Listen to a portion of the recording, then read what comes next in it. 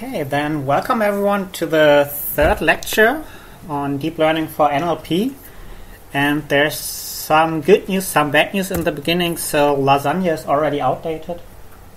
Uh, so it's so last Monday. Uh, sorry for the confusion, but I recommend you to to use Keras.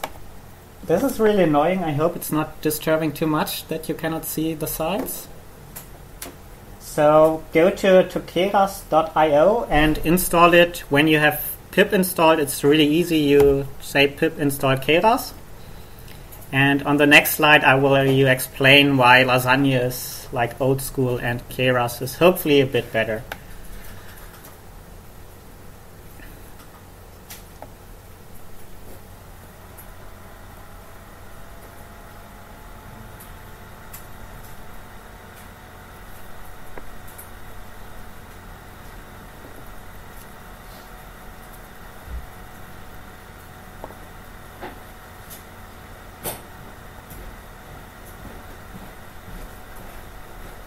have an idea how to fix it.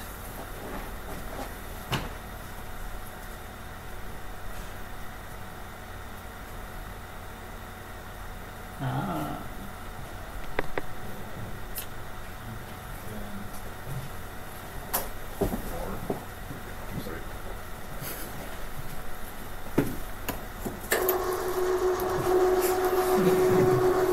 It took us a while to get to figure out.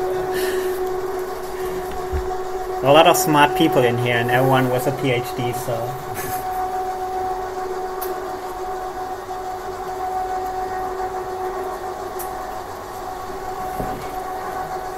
There's always more than one solution. yes.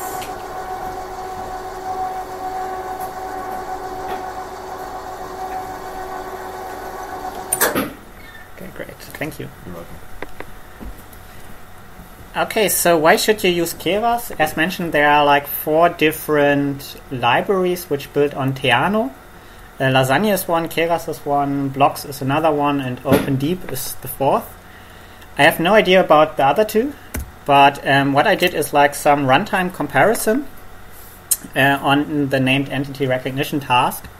And I wrote an implementation by myself, and it takes like uh, five seconds per iteration to train. Same implementation with Keras takes like nine seconds, and with Lasagne it takes 16 seconds. And I thought, okay, 16 seconds that's way too slow. So when you run like it on bigger tasks or on large data sets, it, it gets really, really tedious to train. I tried to figure out why Lasagne is so slow, but I couldn't figure it out. Um, typically, all the implementations are quite easy, straightforward, but it can be in the details. So, how do they, for example, compute the error function? This can have like a big impact if you put some some um, intelligence into it, how to compute the error function in a quick way, because you know, okay, it can only be a single label, so you can disregard all the computations for the wrong labels, for example. Also, what had a, had a big impact is changing float uh, 64 to float 32. So by default, Theano used float 64, and as you can see, the runtime for Lasagne takes around 30 seconds when you use float 64, and when you reduce it to float 32, it reduces to 16 seconds. Um, similar results for Keras, and you do not lose so much. So precision uh, is not so important. So precision in the digits is for a deep network not so important. So float 32 is, is fine from uh, precision point. And when you can train twice as fast, I think it's a nice speed up. You can change it by configuring it in Theano RC and you set like write global float x equals float 32 and then Theano uses by default um, float 32 so it's not so important for today. I mean 16 seconds is still okay or also 30 seconds is okay but when your network gets bigger you need also to optimize for performance and these are like also interesting things to do and keep in mind. And also these libraries are quite nice but as you see you get not the best performance And when you say, okay, it takes too long, maybe it's worth to implement it by yourself and see if you can be faster than the networks. Okay, last week there was a question by Richard. Um, does everyone need to build deep neural networks or can I just use existing networks and can my work look similar to Weka? Um, so my theory, so it's a non-expert speculation by me, don't count on me if I change my mind next week, is that they are going to fear for be four classes of contribution on future conferences, uh, assuming deep learning will like uh, keep state-of-the-art training. So the first one is like generating human insight into tasks. So no deep learning is required. So I don't know when you work on argumentation mining and you want to study how do min argument compare to woman. Uh, I think you do not need like deep learning. You can do not need machine learning at all. Also, you can invent and describe new tasks. So also there no deep learning is like required but you should still apply state-of-the-art approaches otherwise uh, or as me as a reviewer would say okay why is he using such a bad naive Bayes classifier and not like using state-of-the-art approaches which could work better then what you see right now is a lot of adaptations of existing network architectures for other tasks so you use network X for task Y you see a lot of papers in this area. So, for example, predict the number of calories from a picture, and they use just the same network as predict is it a cat or is it a dog on the picture. Um, there, you need a fair to good understanding of deep learning. Um, I think these are not so interesting, the papers, but you find it on a lot of conferences uh, because it's quite new field. And the last category is create new network architecture for existing tasks to improve performance. Personally, I think these are the really interesting uh, contributions because you, when you have like a new network architecture, you can use it for a lot of tasks and get your performance increasement to a lot of tasks. So the network architecture is not limited only to, to some tasks. For example, Socher, he which we he presented an approach, an architecture, recursive architecture, which we will talk about next week, um, which works for a lot of tasks. So it works for sentiment detection, it works for semantic reasoning, for textual entailment, for question answering, and so on. And that's just a single application or a single new architecture he, he presented in 2011, 2012 which can be used in a lot of different fields. And I think these are like the really good contributions. But there you need like large expertise in deep learning and machine learning. So I would say in general it shifts more into back into the machine learning field. So back in the 90s where it was all about feature engineering, I think my theory is now more getting into the, the machine learning field again that you need a good understanding of the machine learning. Any questions on that? So just mention it's a speculation by me. Uh, we will see how it turns out. Okay, so did someone try to, to do the homework and to play around with the MNIST dataset and the two implementations provided? And what were like your findings on that or your insights?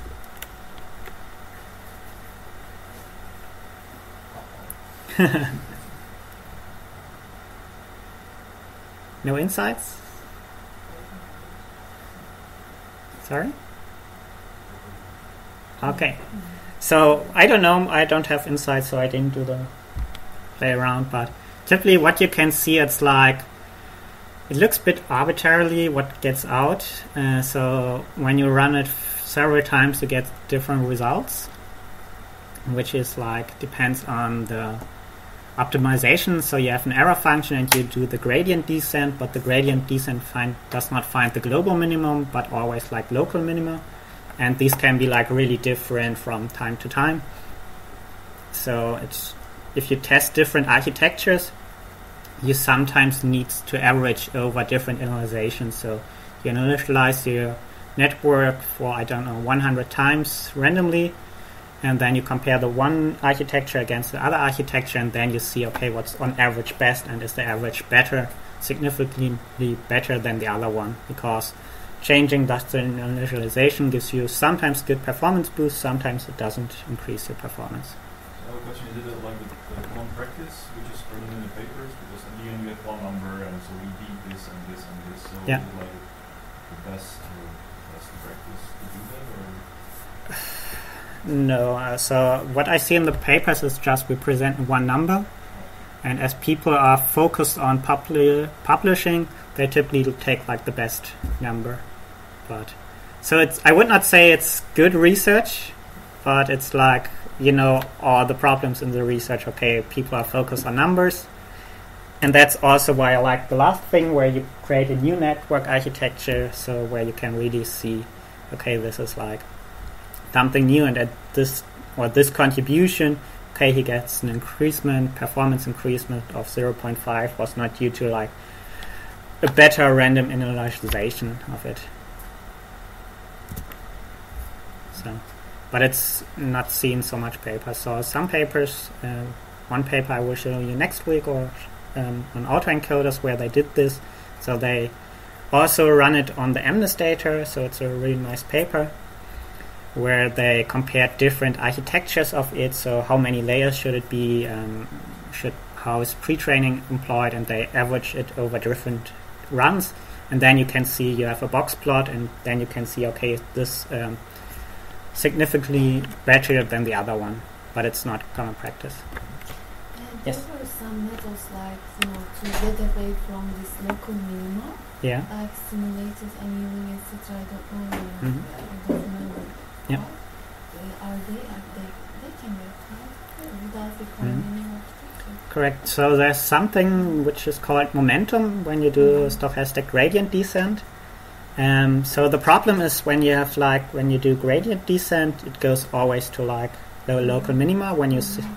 think of a shape, Mhm. and then you can add a momentum, Mhm. which is like I don't know the ball runs down the hill and then it has really high speed, and when there's just a small valley, it will jump out of the valley Mhm. until it, and then you hope that you can surpass bad local minima Mhm. but you never find the global uh, Mhm. minimum of it because the, the space is just too big. So when you have like one million parameters to train, or the Mhm. The, para, the the network I showed you last time from Google had five million parameters, so finding the global minimum in a five million dimensional space is like impossible. Mhm. But often you the global minimum people assume is not so much better than local minima, so the difference is like really small typically.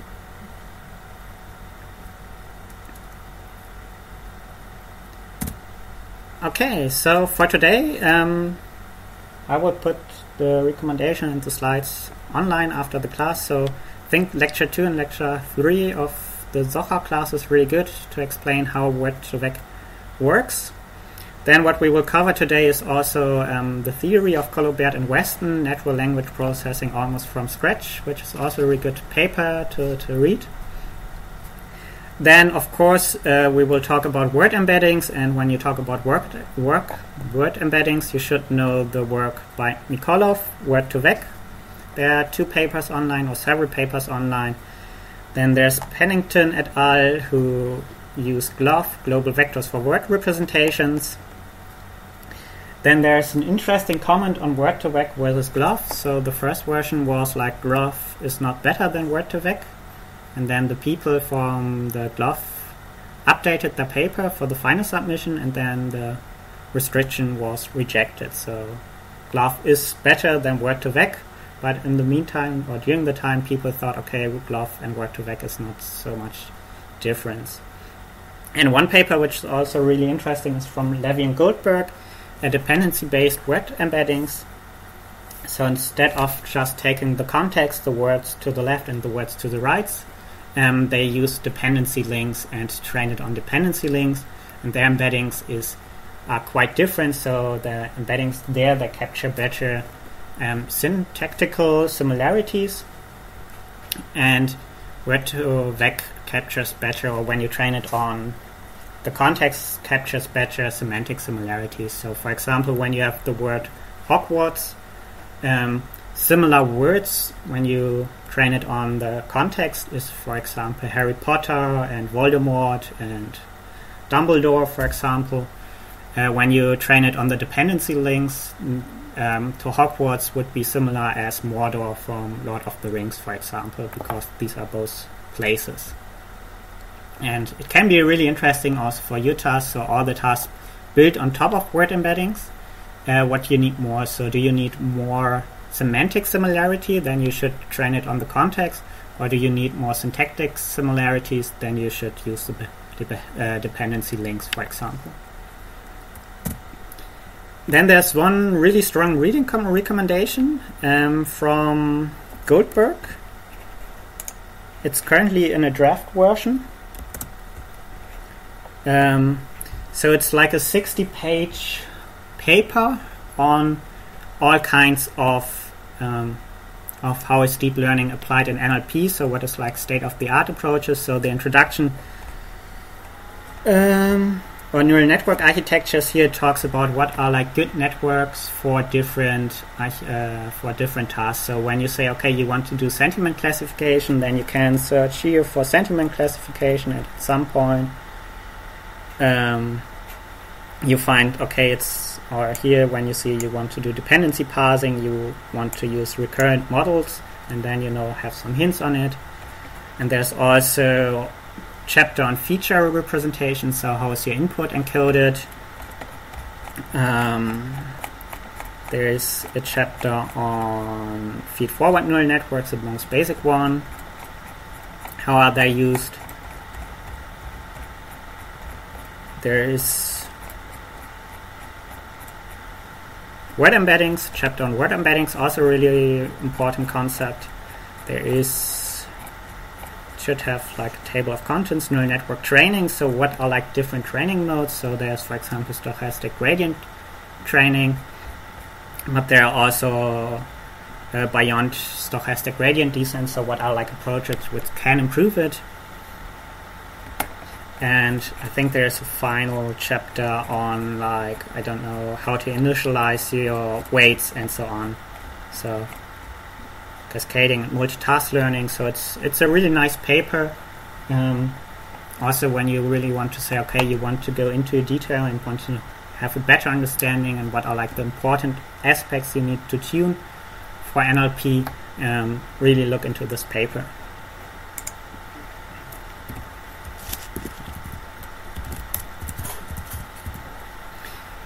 Okay, so I hope everyone watched the video on Word2Vec and word embeddings from Richard Socher. Are there open questions on word embeddings, how word embeddings work? Uh, there, there was this one point mentioned that uh, word embeddings don't really work on uh, multiple relations.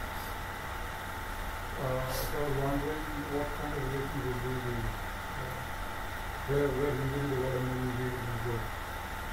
Where they don't work? Yeah. So, so you mentioned at one point that if, if it's like king minus man plus woman, Yeah. the Yeah. but then if, if the words have uh, multiple relations, they usually don't work. That's, that's what you. Correct. So, I mean, one one issue is that when you have like ambiguous words, for example, star, which is like the Hollywood star, and like the sun, and then the word embedding is like something in between between these two meanings. So it's something between like the sun and the Hollywood star. And when you then then do relation, so I don't know the sun maps to moon like I don't know what what's on, then it doesn't work when you don't have like the ambig or solve the ambiguity in this. And typically for most tasks, I think it's not necessary to resolve them big words because you use typically like 300 dimensional word embeddings. That's like common practice and best practice on the dimension part. And there you have enough dimensions to also cover it in this direction. So making the work and resolving the big words and trying different embeddings for the different meanings, it's possible, but it's not really feasible for most tasks. And most tasks, they just say, okay, in star we have all the different meanings included in the embedding and then the later network will figure out okay what's like the meaning of star in this context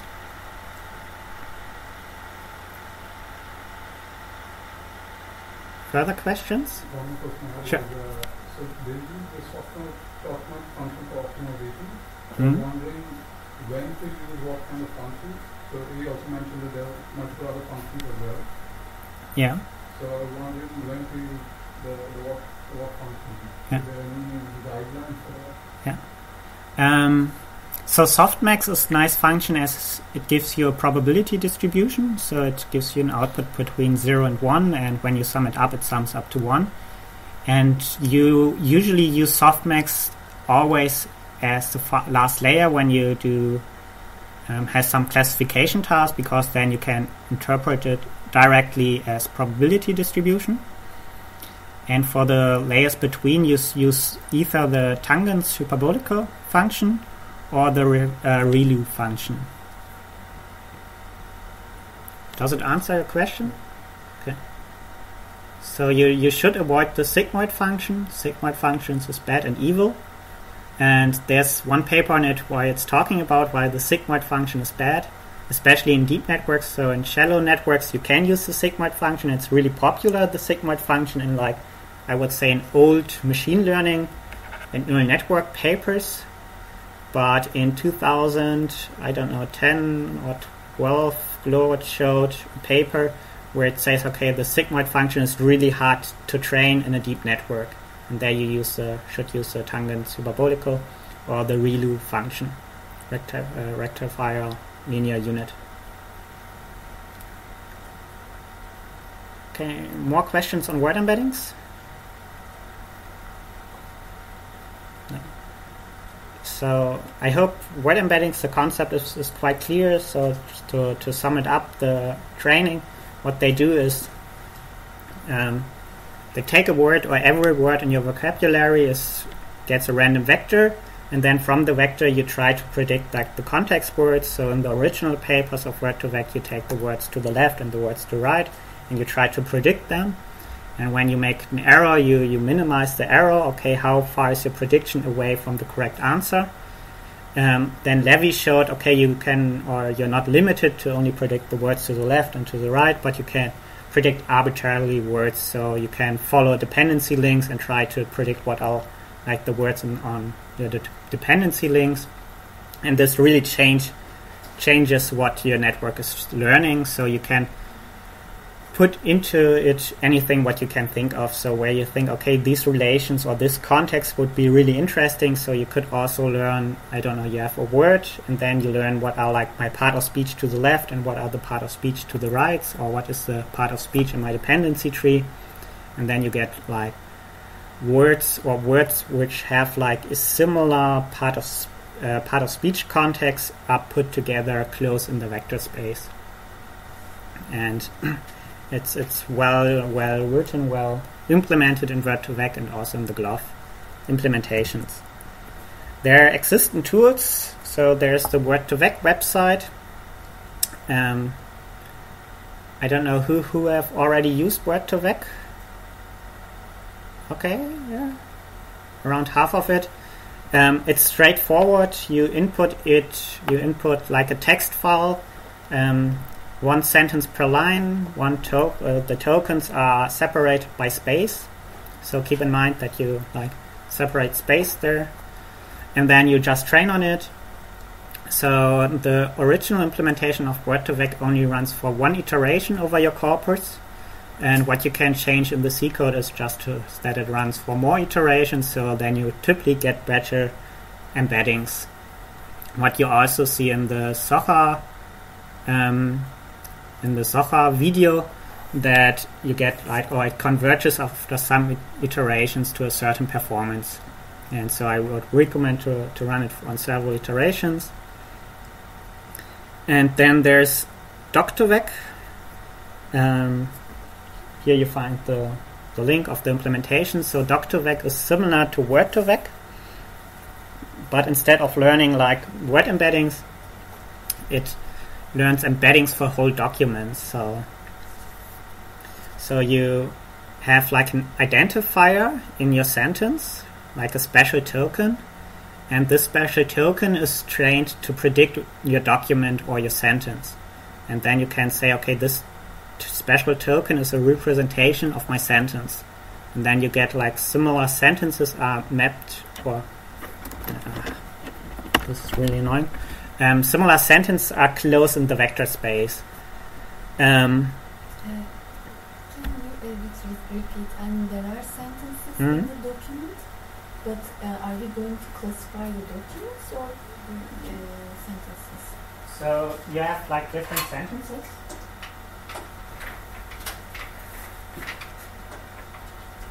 I don't know. Hello world. Then Cuba and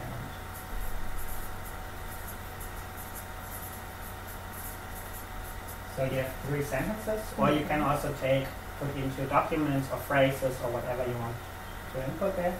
And then it creates a special token, S1, S2, and S3. And it uses the same approach as Word2Vec, so it tries to predict from S3 the word this is test. So in Word2Vec you take a word and try to predict the context words, and here tries to predict from the special token or the special ID for the document the the words in the document, in your sentence or whatever you put into there. And then here you have a representation of this sentence and sentences with a similar meaning. And there the special token is clustered uh, close in the vector space. And you can use it when you have like some sentence problems, so you want to find similar sentences with a similar meaning. You can use Doc2Vec, train and then see, okay, what is like the, what are close um, close special tokens to this. So, so there's a bag of words of the sentence as a context which tries to. Correct. So it's just an infinite, should be an infinite size bag of words. So you introduce the special token, and then it takes an infinite size bag of words.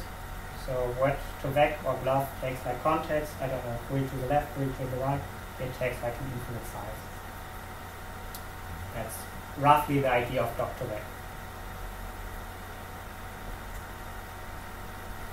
Just some note on the paper of Doc2Vec. So they show really good results in the paper. Uh, but these results were not reproducible. And the author just vanished, and this co supervisor, I think it's Mikolov, yeah, said, Yeah, I have no idea what my student did there, and I'm not also not able to reproduce these results. So the actual results people try to reproduce are a bit worse than in the paper which was published. So also note, okay, how how how good is our publication method? And then there's the tool Glove. It's it's also there to run word embeddings. I would say it's like the best tool to run it. I never used it, but from from what people see and what people did in the experiments, gives you like the best word embeddings. And there's implementation or adaptation of Levy and Goldberg for Word2Vec, uh, where you can train it on any context you want, uh, which is also a really nice tool and really straightforward to use it.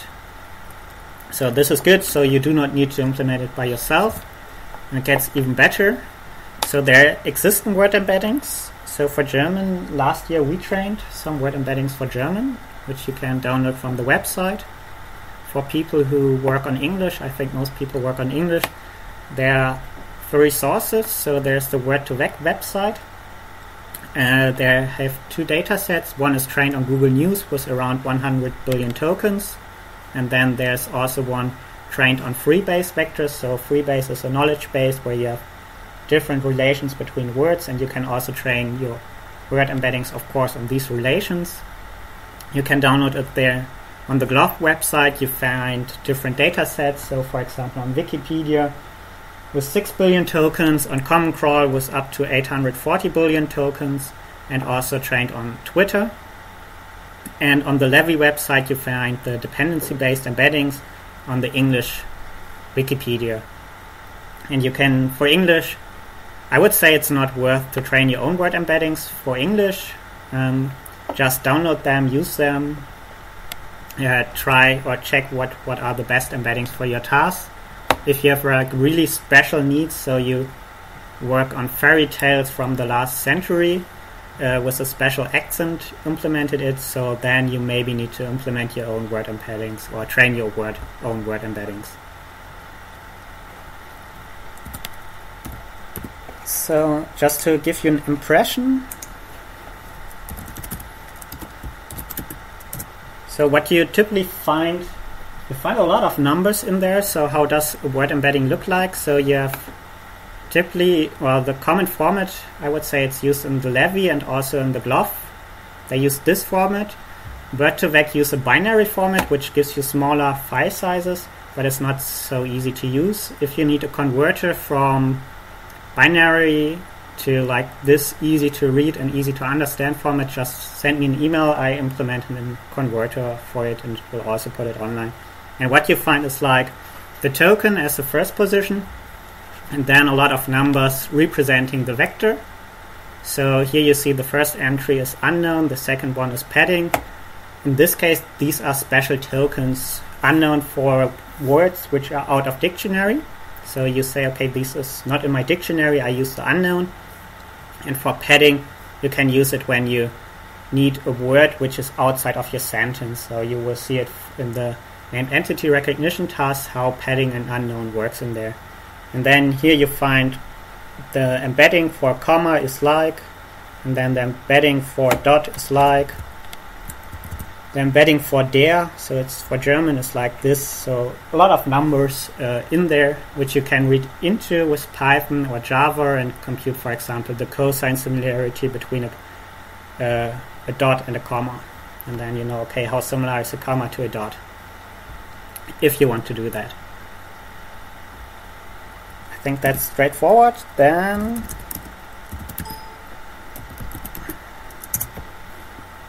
um, this is the input format when you want to train the Word2Vec uh, of Levy. Um, so this this is the file you put into the Levy tool, and the first column is the word. So here I trained it for prefixes. I want to have like embeddings for prefixes trained on the context words. So I do not want to have word embeddings on the context words, but I want to have like an embedding for a prefix of size 6 based on the context word. And here the first prefix is skali von skalieren.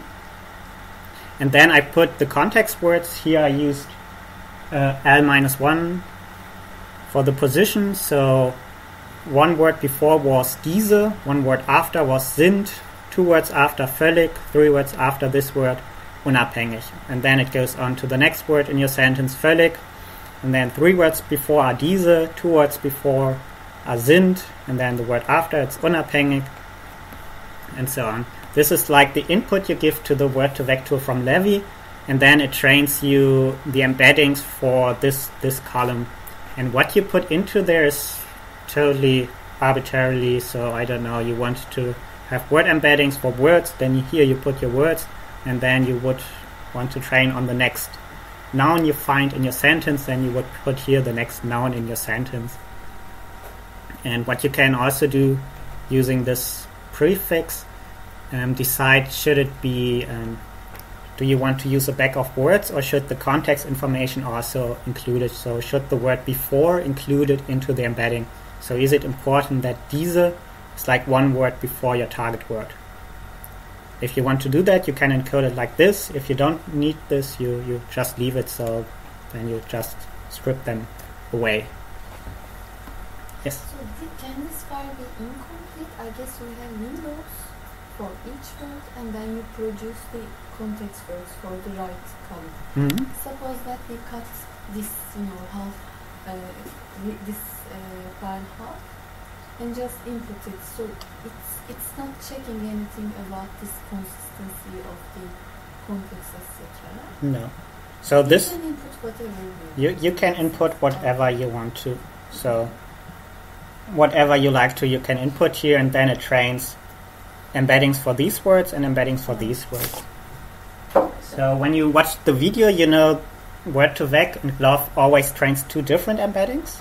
So one embedding it's trained on this, on the target word, and a different embedding on the context words.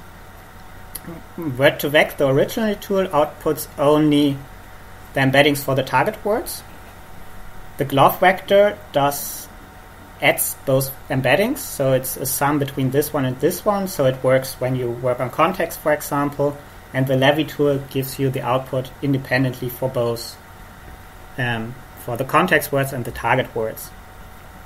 So you see the embeddings for the target words. Um, Levy dependency based context. So we have like two two outputs. We have Levy dependency based words and context.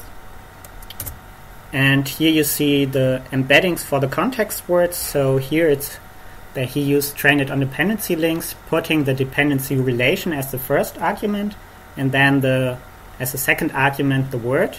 So here we have um, the article, the, and this is the embedding for the context. And then we have down here a p, so it's a p relation for comma, and that's the embedding for okay you have the link in your dependency tree, and there are like also for dot and so on. So these are like the most common um, words you have in your document. The, comma, dot.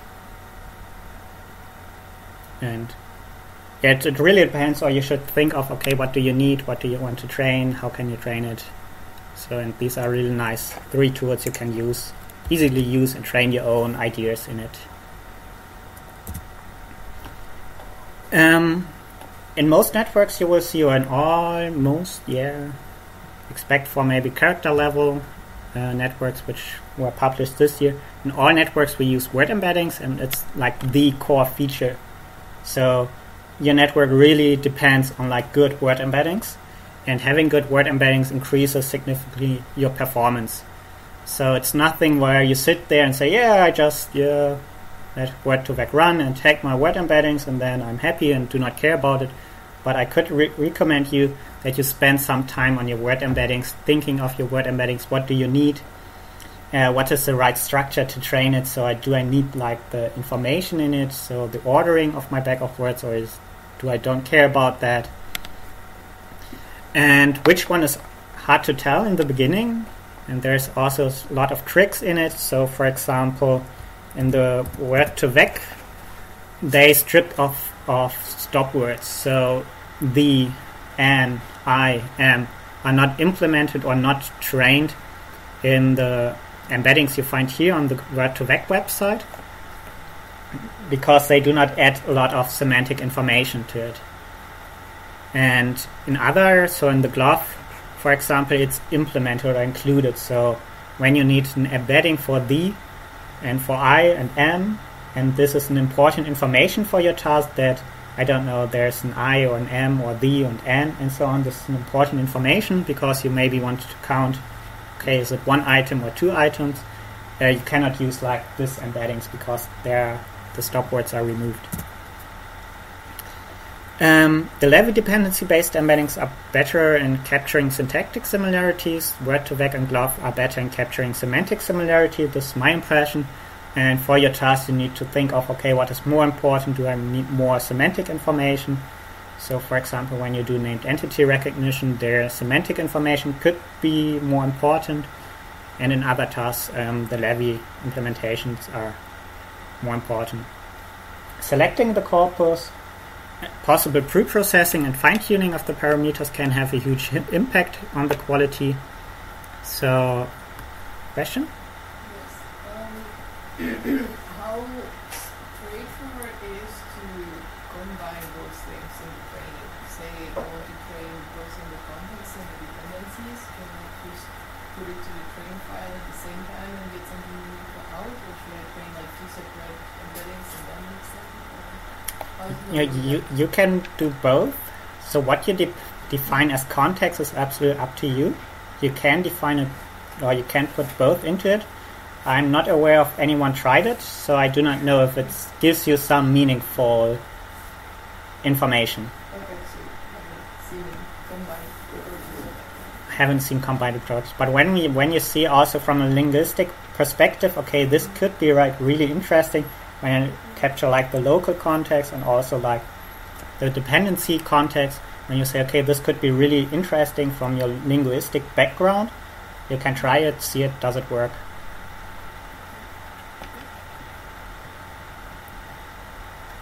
Further questions? Yes. Uh, more of a general question. And I have to say first that I didn't watch the, the Stanford lecture yet. Okay. Um, but uh, so what I got so far is that uh, the training actually builds this dense vector space in which words are Mhm. close to each other when they are similar in meaning. Correct. But when you said when we want to measure similarity between words, you said we would take the cosine similarity. hmm And for sparse vector representations, this is obvious because, for instance, when we have frequencies, we are interested not in the length of the vector, but in, in its direction more or less. But Yeah. in this uh, dense space, wouldn't taking the cosine similarity do more harm than good? Mhm. So it's so you can do use both Euclidean or cosine similarity, and there are also papers which do like a weighted something between these, and the res- results are really similar. So if you take cosine similarity or Euclidean distance, does not have so much impact on your similarity measure. One advantage of the cosine similarity is like um, it's normalized, so you can get a score between minus one and one. And with a Euclidean distance, here, it's like an open, so the distance is between zero and infinity. And when you input this further into your machine learning task, so assume you do some manual feature engineering and you need to compare two words, how similar are two words, you need to normalize Euclidean distance because it can get infinitely large. And when your machine learner is not normalizing it, uh, you're, you're, you're screwed. But in general, the, the impact of changing it is not so big. And in most tasks, we do not sit there and say, okay, now compute the cosine similarity, but we just throw the embeddings for the words at the neural network, and the neural network does whatever it wants to do with the embeddings and gives you the output. Okay, so the So- dimensionality in this vector space is also not bounded, so we can end up with infinity in one of those dimensions. Mm, yes, mm, yeah, typically they are like, I would Because in Yeah. the file it looked more like Mhm. it was bounded between minus That- one and one. they, they, they are bounded in general. So, so I mean, in theory, Euclidean distance is not bounded, but the embeddings you have here, it's bounded. I would say, but I do not know what's like the range. It depends on the machine learner. What is So we, we set this. We, we no, you you you don't find set the bounds, find the bounds. It's implemented or hidden in the implementation of Word2Vec and GloVe for the training. So, but I do not know what the bounds are. So. But good question. Thanks. Further questions? Okay. Is there any, uh, like I think you said right, is there any limit in dimension where, uh, where I mean, we could use these word similarities? I mean, for any kind of, any kind of task. I don't. Are there any papers which are reporting the threshold on dimension? Oh yeah. So there's like an internal evaluation where they do like um, this three or four tuple pair. I don't know. Berlin relates to Germany as Athens to, and then the system should answer you Greece. This is like the evaluation of word embeddings, uh, which is also under criticism if this is like good evaluation or bad evaluation. And what people tried is like different dimensions, so take 50 dimensions, 100 dimensions. And for this task of these like having three words and finding the missing fourth word, 300 dimensions are optimal. So after that, you do not get a performance increase anymore. But for your specific task, the size of the word embedding can really depend. So for some for some tasks, you need can use really small word embeddings with, for example, only 20 dimensions. And when you have, like, of course, less dimensions, less parameters to learn, so you need less training data. So it's a trade off between training data you have and the dimensions you can want to use.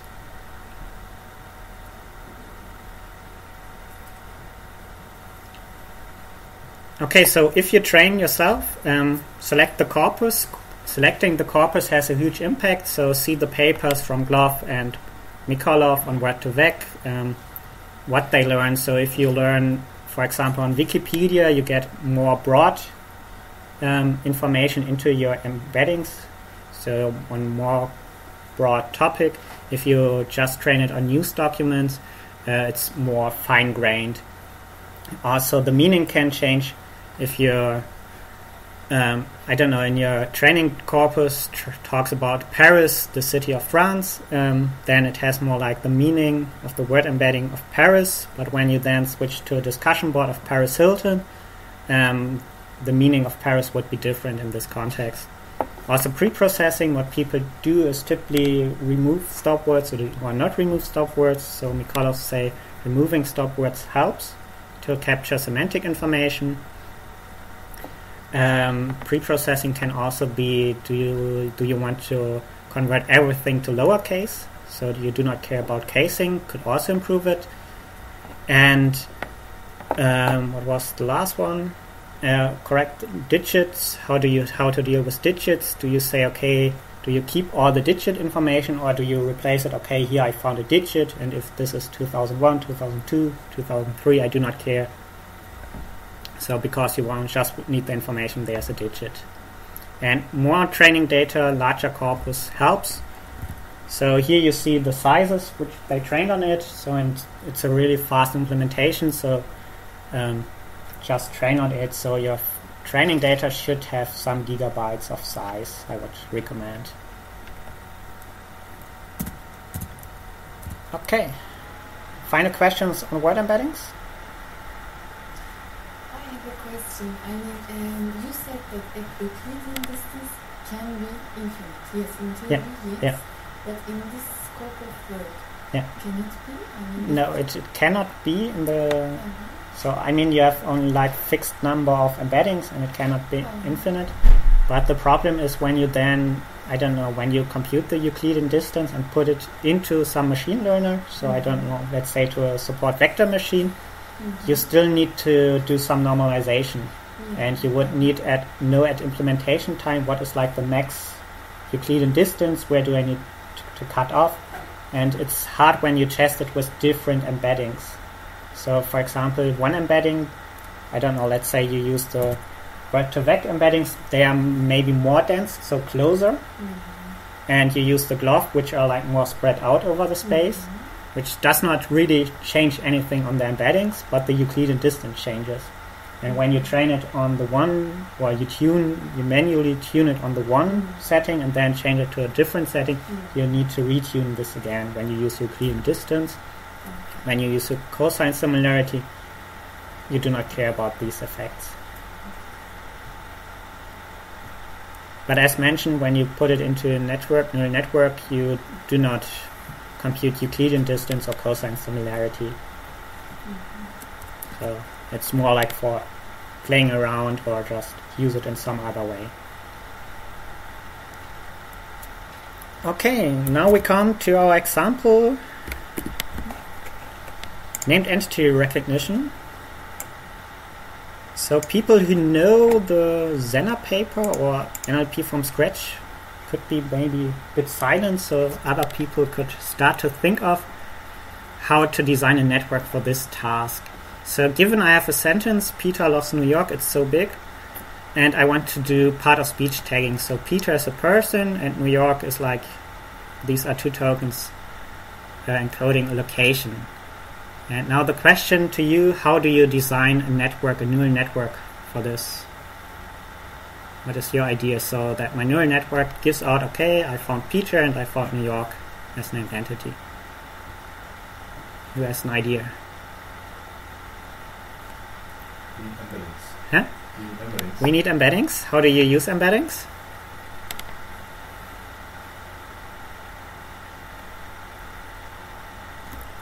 Lucy? you encode the position of the main entities in the context. So you say what's on the right and on the left from Peter, Yeah. and on the right and on the left from Ralph. Or maybe you, you can use a flip chart to draw it, your idea? How, so how, how is your network design looks like? Oh, network. I meant just I- about the embeddings. Just Yeah. the embeddings. Okay, embeddings to the left, to the right, maybe. Mm-hmm. But but so our ge- or ge- So what about content? So you take some context like word, so for embedding word minus two, embedding word minus one, and maybe embedding word one content in your network here and feed it into your other input layer. to put in the Yeah. what do you like to draw it? So we're go- uh, Richard, what is, are you also Yeah, I was going to say. this. okay? So this would be like um,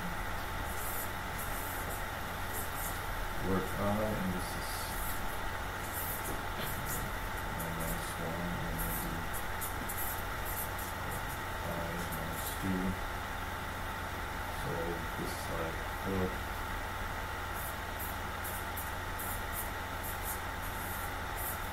This is like, Okay. and this is like the first layer.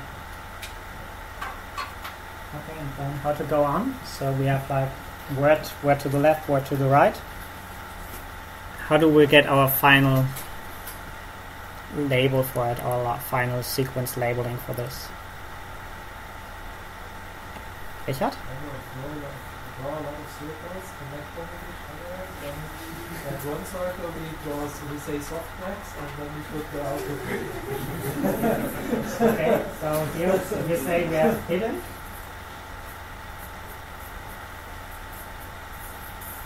Those are rectangles. Yeah, we just imagine there would Like be sequences of maybe? circles. Softmax. And what's the output? The at the bottom of the Probably. So like, for example, what could the output labels? Person, person, L person, person. Let's say O and location and I location.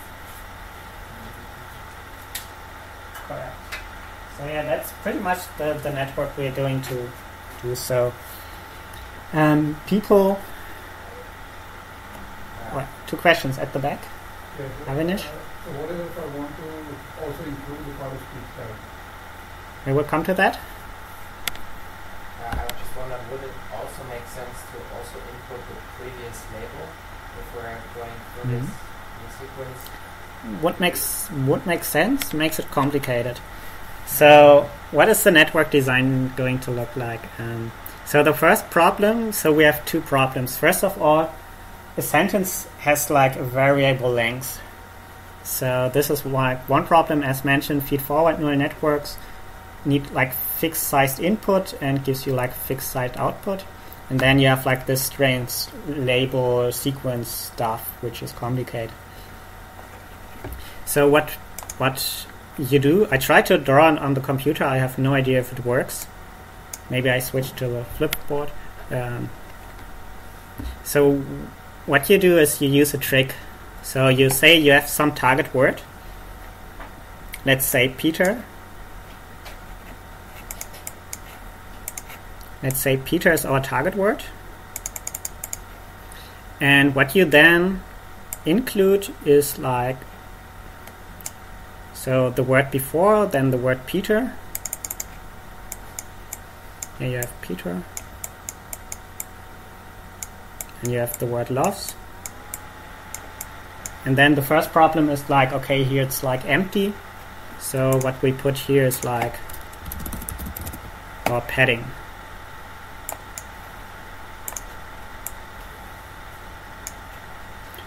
It's not really working. I switched to the flipboard.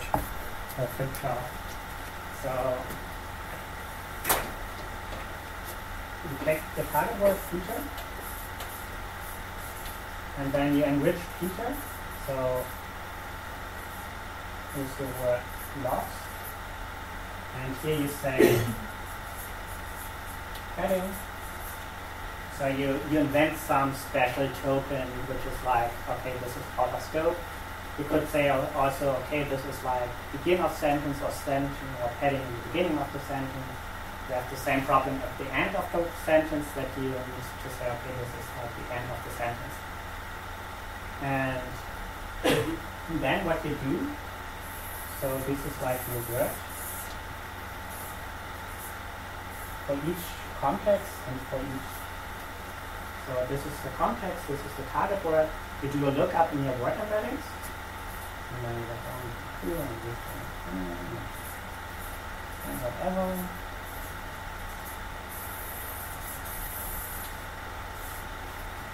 So when you say the size of the embeddings is 100, and here you use a window, it's also called window approach of 3. Here you have like 300 dimensions. Correct, you will concatenate them. And you have your hidden layer.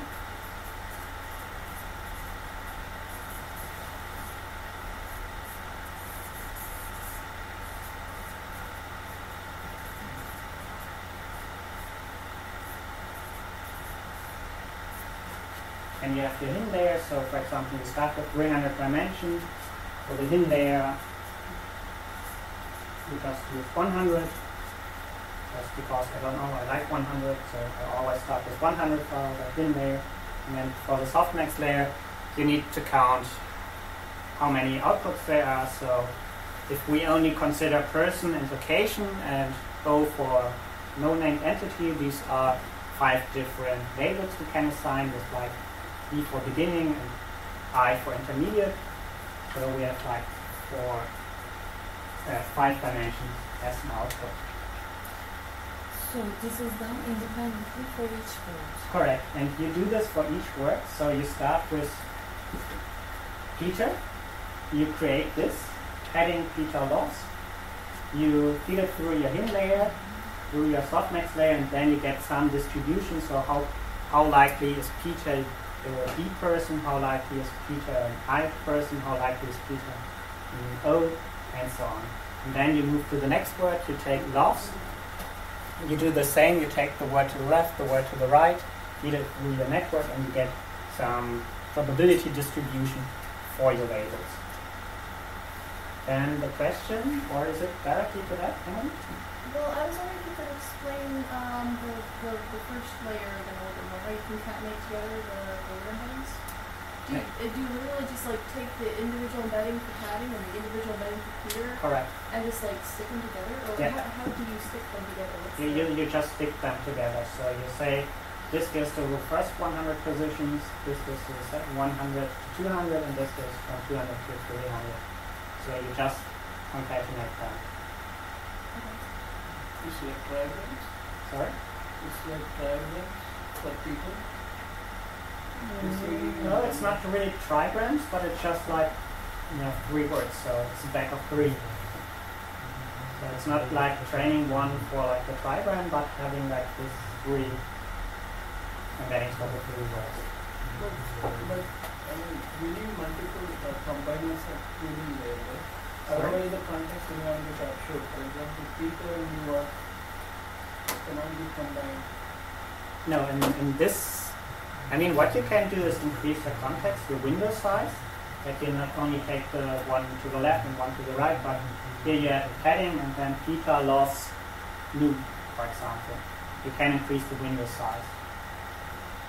Is it the order of the concatenation? Like, so the difference between padding Peter loves and loves Peter padding is literally the, the you concatenate them in, in the order they come. You should concatenate them in the order they come Okay. because so loves has Peter as the first position. So then do input loss, here you have Peter loves loop.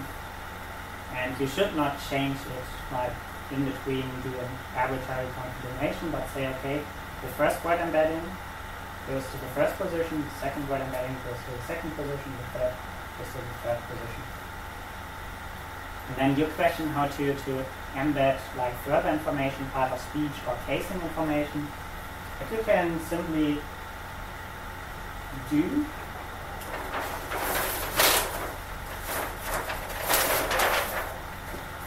take theta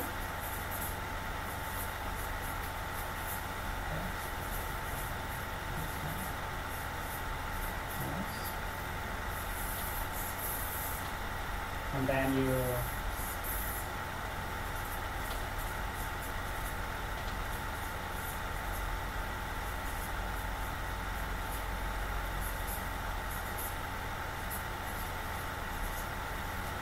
So your input is padding, Peter loss for your words, and you can do the same as part of speech. So take the part of speech to the left, which is padding, so it has no part of speech. Then it's a noun and it's a word. And you do the same. You have here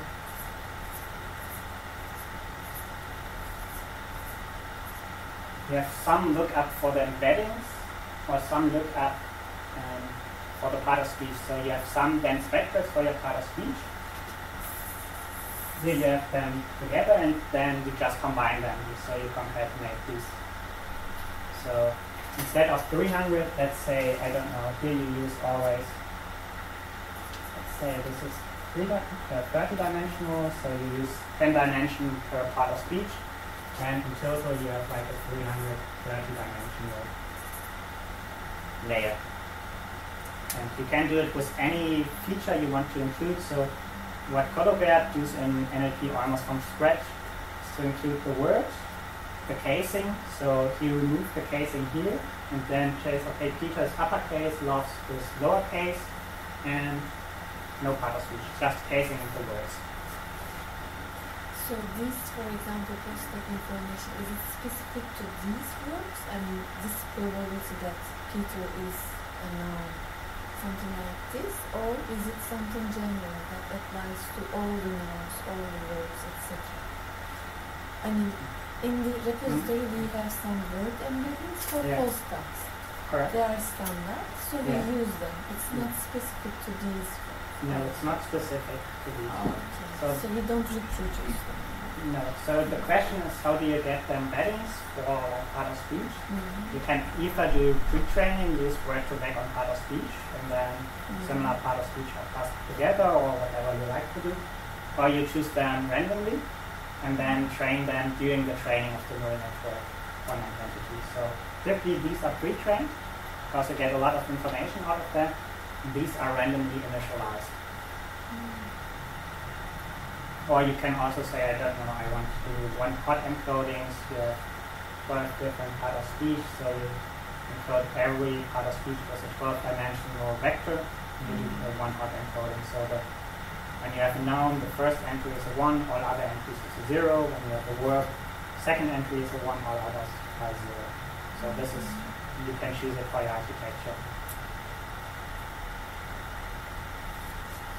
Okay, so the second question, yes, Well, so so I can keep um, um, putting. So I have this this this, this input layer. So I have my uh, 300 dimension uh, embeddings of the words, and I have my 30 dimension embedding from my speech type, and I can keep adding um, my embeddings from my choice of uh, features that I want to use. What's the what's the limit? What's the where does that limit if I just keep concatenating on more and more? Um, So first problem is runtime. Uh, so I don't know, you don't have a supercomputer, so when this layer gets too large, the runtime is like infeasible.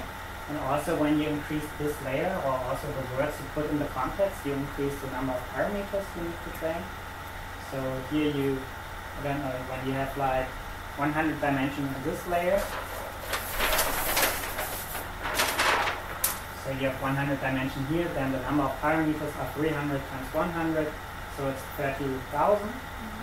Uh, when you increase it to 600, you have like 60,000 parameters you need to train, and to train 60,000 parameters, you need more training data. So that's the two limitations, runtime and how much training data you have. Do you have any rules of thumb about where we could take training times? Depends how, how large is the training data, how complicated is the problem. So it really depends on that. Okay, the second question is like for sequence tagging, how to pass it on. Was by you? Uh, yeah, so Mhm. right now we don't make any use of the information that, like, given a person what's the probability of an out of Yeah, yeah. uh, label. Correct. So, um, so this is the simple approach, also called isolated tag criterion. So you do not look at what is to the left, what is to the right. And then there's something which is called sentence tag criterion. So you have Peter. And then you have like one, two, three. So this is the five-dimensional output of the softmax, the probability of the different classes you could assign to Peter. And then you do the same with loss.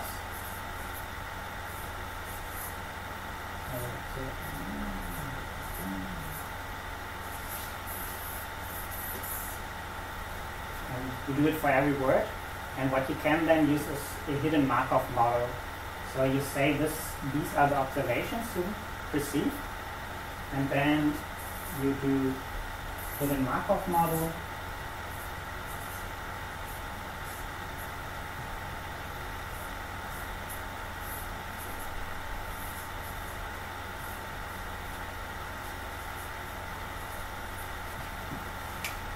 Do a hidden Markov model, you optimize your hidden Markov model, and then you say, okay, this is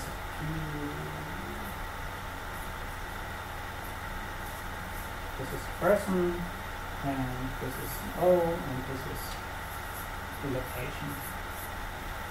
And then, so you have your network, you have your hidden Markov model on the output of your network, and then you optimize the hidden Markov model. And the nice thing is here, it's not two independent steps, but this is just further layers. So when you do backpropagation, you can do it over your hidden Markov model and update all the weights. So it's not something what is fixed here, but what you include also here. So you see, okay, the problem was maybe here I used a bad part of speech embedding, which causes this node to fail, and this node to fail causes this node to fail. So this part of speech embedding will be updated. But to implement this is not easy, so it's not nothing straightforward. Um, this isolated tag criterion where you just look here and then take the most probable output works, but it can also give you wrong encoding. For example, it says new is not beginning of location but an intermediate I location, and then you have an I location I location. And this is not valid BIO encoding where you say, okay, new entity starts with a B. You could just strip off the this and re-encode it. That's what you could do. So the network still thinks, okay, new is like I, and then you click the strip off, re-encode it. Works. Or you can strip off the D and the I and then just re-encode. Uh, look at sequences of the same type and re-encode them as the Of course, you will lose some information. So if have two immediately adjacent ones, um, you would merge them into one in order to separate ones. Correct. So when you have the sentence Peter loves York, and in your training data there was always talking about New York, um, maybe encoded as I location, then you could see, okay, this is an invalid tag, just re-encode, put a B there. So to do some post-processing. When you use the hidden Markov model, this typically cannot happen because in the hidden Markov model you see, okay, there can never be an I tag following the O tag.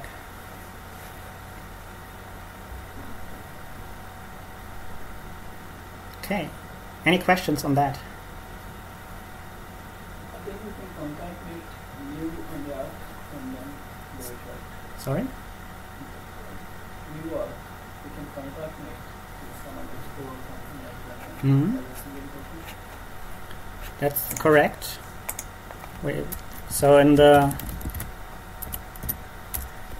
Word2Vec embeddings from which are provided on the website, they concatenated named entities to single tokens. So they trained an embedding for new, they trained an embedding for York, and they trained an embedding for New York, which is with an underscore. So, but that's really special about the provided word embeddings. You could also do this, do some pre-processing, say, okay, I know some some um, some named entities, but it runs also to some problems which you would not try. So, for example, you have the sentence Peter loves the New York library, and which is like not the New York library in New York City, but it's a new library in York. and when you then concatenate New and York, it will think, okay, this is the location, but it's not like a location. So I, I would not do this, do some post processing, just raw, working on raw tokens.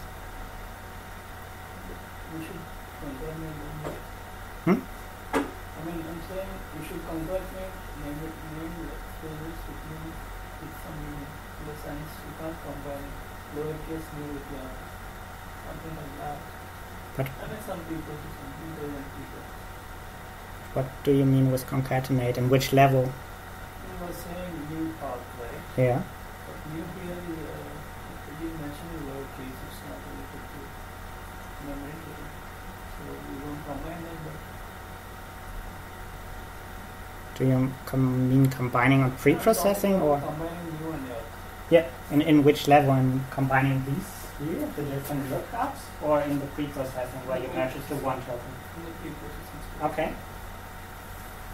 Yeah, you, you shouldn't do that.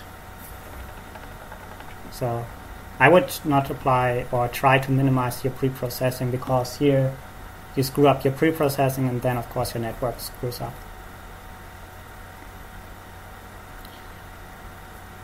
Okay, enough on this. Now we try to implement it and you find in the code repository some implementation, a lot of boilerplate, and I would recommend to use uh, the Keras implementation. I just gonna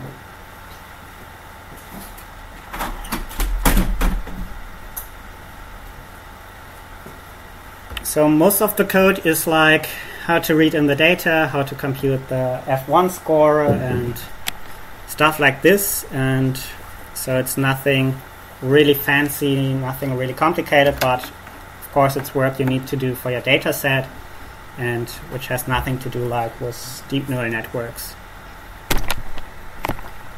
So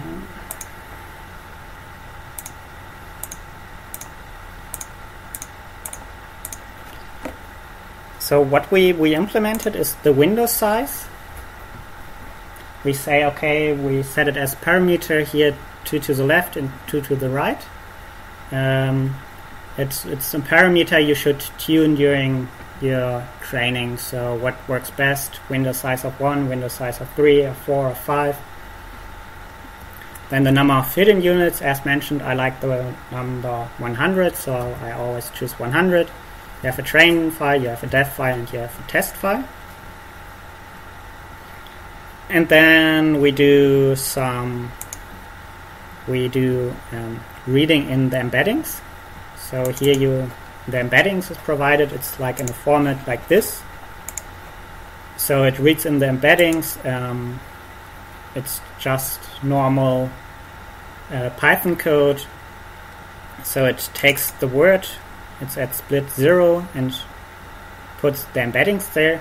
So there's just one node on the embeddings, so the embeddings can get really large, the size, file sizes. So they can get several gigabytes of size. Reading in all the embeddings into your model.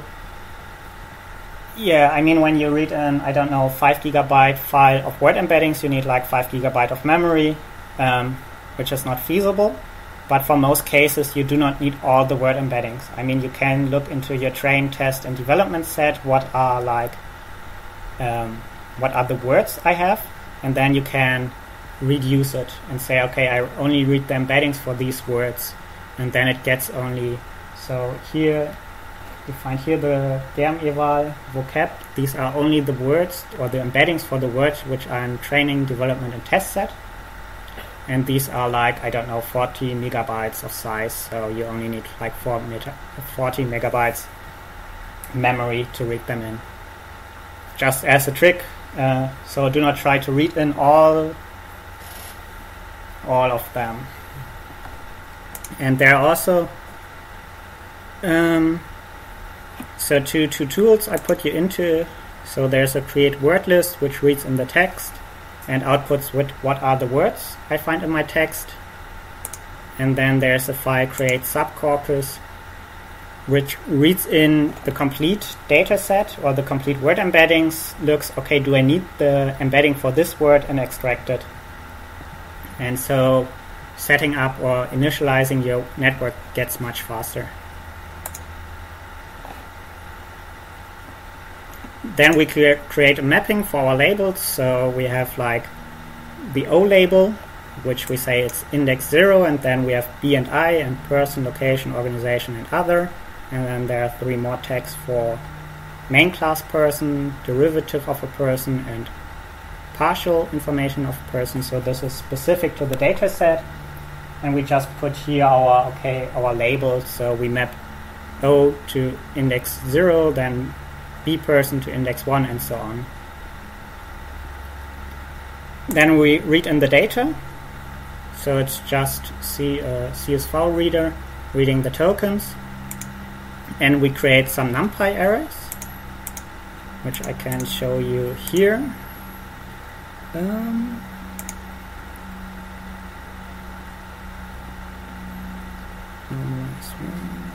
so create NumPy arrays. So we have the padding or the index for unknown, and we have the index for padding. So these are like two special tokens we need for unknown words and for the padding words.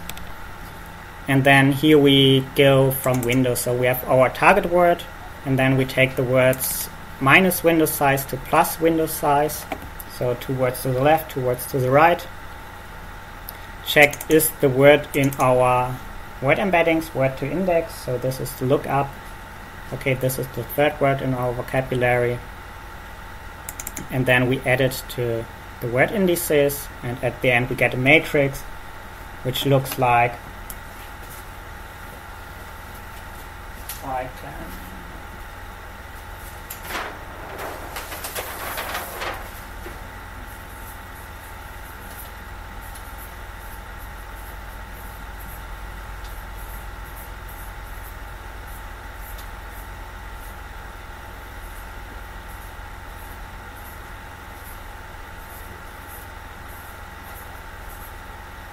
So this is just a mapping from the word. So padding has the index 1 of our embedding matrix. Peter has um, position 127 and loves 2873. So what we just used is like this as an input training data. So we do not work on words, but for our neural network we give this information. So what is the line in our embedding matrix?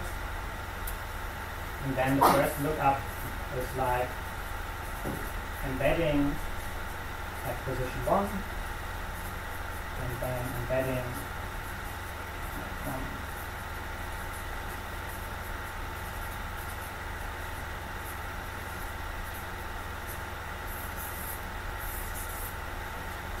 And this gives our the embeddings for these words. Question? So, if there's no embedding, it's not the unknown. Correct. So Um, but you still need to, is this, you can't need to hold the whole vocabulary in memory? What you need to hold in memory is like all, so all words which appear in your training development or in your data in the training development test set. How would I do that when I want to screen data? Um, I mean, you can of course hold in your complete vocabulary. So you take all the word embeddings you have trained from Word2Vec, but these are, as mentioned, quite large or can get quite large. And what you can do, or when the complete vocab, uh, the complete matrix is too large, then you need to work on the list lookup. And when you run it on Barney and you say, okay, my embeddings files is two gigabyte in size, it's no problem to load all two gigabytes into memory.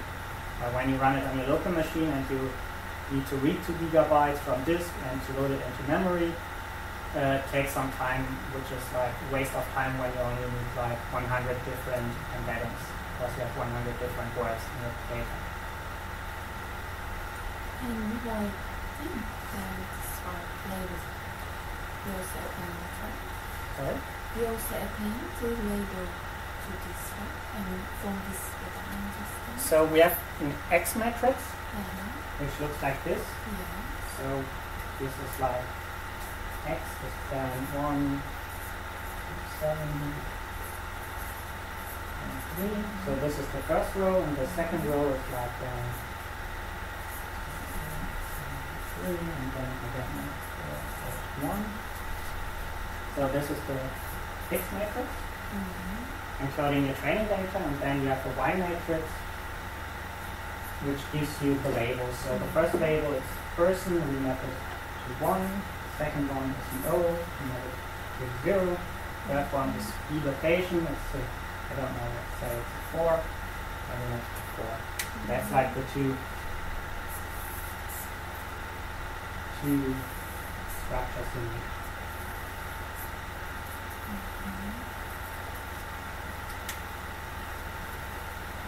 And the function just gives you this information. When you run it, it looks like um, read in the vocabulary, read in the data, and create matrices. And then we see around 1.3 tokens are unknown, so 1.3 tokens which appear in our training data, development data, and test data are not covered by our vocabulary. So one out of 100 words is like not known. This can also be, you should check how many words are known because it can be to, when you have a really high number that you do bad pre-processing. So for example, the embeddings you have are all lowercase, but here you input like also uppercase words. Or you have a different token- tokenization, so you take embeddings with the different tokenizations as you use it for your training data. Okay, so and then we have here our matrices. So as mentioned, when we look at train X shape, so we have 450,000 rows and five dimension. No. So it's, it's I just copied the NER Keras skeleton pie. And you can either copy it to IPython notebooks, so just take this and then create a new IPython notebook. Or just use your local Python uh, to run it, so Python, whatever you have. Okay, here you see our training matrix it's like 400,000 rows, so we have uh, 450,000 tokens we have for training, and for each one we have like five input. So if we plot the first 10 numbers, we see okay, one is our padding, this is the target word, and then we always see how it shifts to the left. So 202 is the, like the word here, loves, and then it shifted over and this is our training data and we do the same for y which is our label. So the first one is 1 these are 0 this is label 7 and that's how we prepare our data.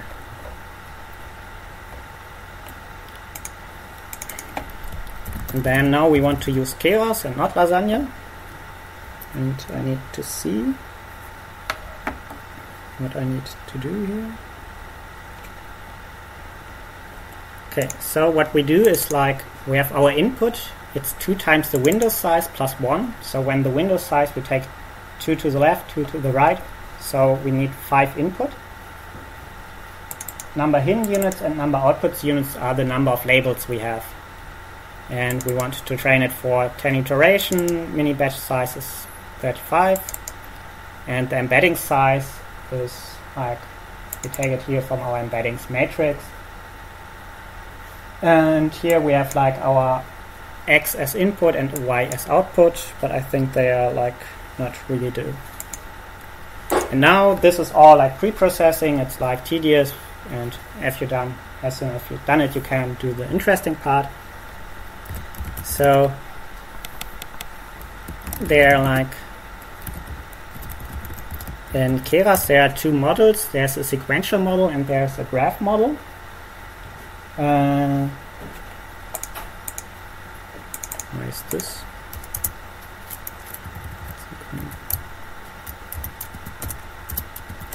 So a sequential model means, okay, we go from layer to layer. You can also think of like complicated graphs, which I shown you from the Google image, where you have like different inputs, different outputs, which can also model with Keras.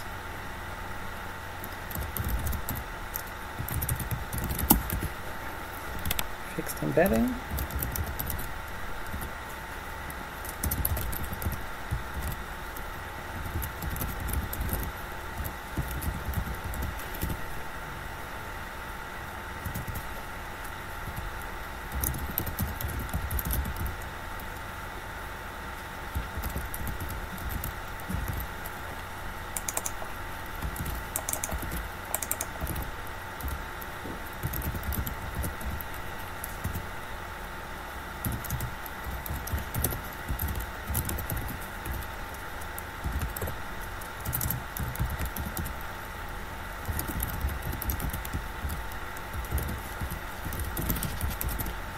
Okay, the first one is our lookup. So we want to map our these indices to one to the like the first row of our embedding matrix to the 127th row to the 2873rd row.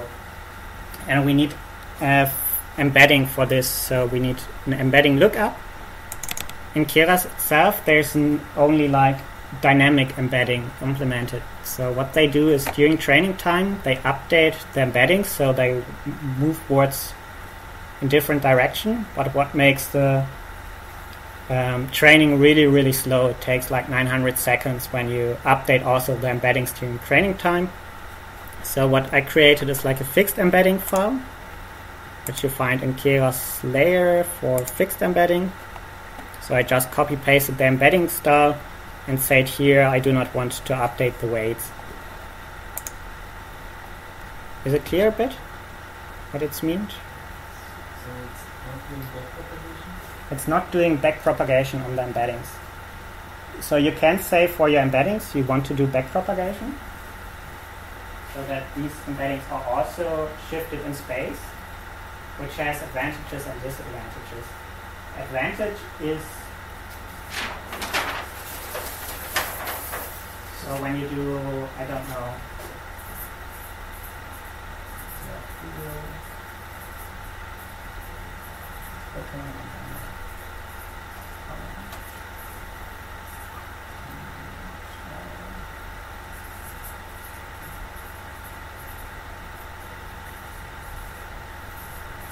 So you want to do an entity recognition, and you have like Google, Twitter, Microsoft, whatever, and then you have Apple.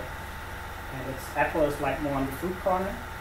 So it can be useful for your training. So when you have like news articles, say W when they talk about Apple, want Apple or is it like the company? And then makes sense to update your embedding and move this word more into this direction where you have all the locations. And then you say this is uh, like companies. Problem when you update your word embeddings is like I don't know, have BlackBerry.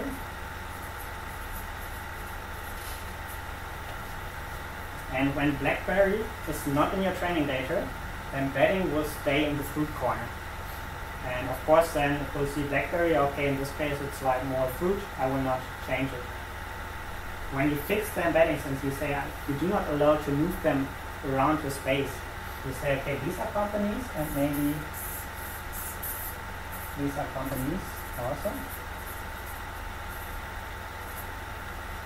And then you don't, even when you do not see BlackBerry in this context, um, you still can classify it as a company because it's close to like Apple and Apple is a company. So does it mean for given I have tons of data Yeah. in my data, in my data set, I can uh, initialize the embedding just randomly and let the network learn embeddings in the task. Correct. You, you can initialize them randomly and learn it during uh, this. In the Collobert paper, there they do a remark compared r- random initialization versus pre-training, like Word2Vec, word embedding style, and it gives good performance increase in named entity recognition Do You have it pre-trained or not? When have it pre-trained. So it gives a really good performance increase, several percentage points in F1 measure. Carsten? Yeah, I was just wondering. I mean, basically, it's doing virtual rate is doing the same thing as you would be doing here, just on the different data set. Right? Yeah. If you do updated embeddings during your model training, you adapt your embeddings to the current training data. Instead of just using the data. the Yeah. Only for the for the task. Yeah. So the task So is you're to, predicting, predicting classes and predicting the context. So to learn different vectors. Yeah, yeah, yeah. Not doing the same yeah. So, and the recommendation is when your data set is small, uh, have the word embeddings fixed.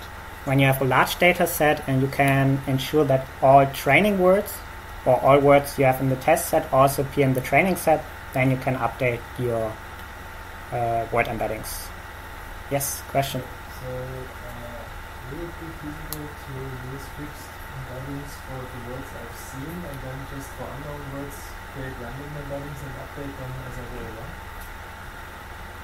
Uh, I mean, the problem are words which appear in the test set but not appear in your train set. And I mean, when they come at test time, you cannot like create a new word embedding and train for it.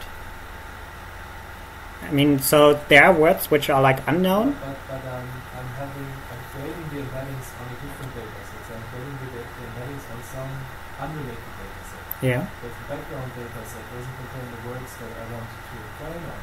Okay. I still have them in my training set, but Yeah. not in the background Yeah. data, so I can still train for them during training phase. You you can still do that. It's it's it depends how how big is this number. So here it's like one percent of the words are not known, and you could create word embeddings for these, but often these are like misspelled words or like problems with tokenization. There are also some in the data set, some Arabic words, Chinese words, whatever, due to wrong encoding problems.